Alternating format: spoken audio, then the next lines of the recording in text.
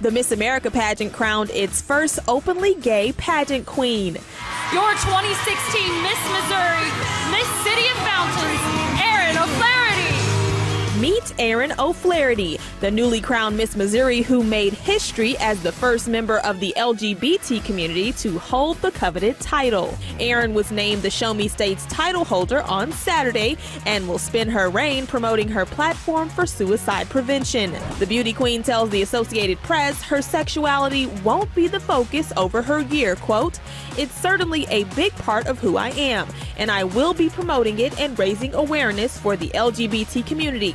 But also, there will be many appearances that I do that have nothing to do with that. Following her groundbreaking win, Erin took to social media to take over the official Miss Missouri Twitter, sharing her crowning moment, writing, So excited to serve this amazing state. Erin is set to compete on the national stage on September 11th in Atlantic City, New Jersey.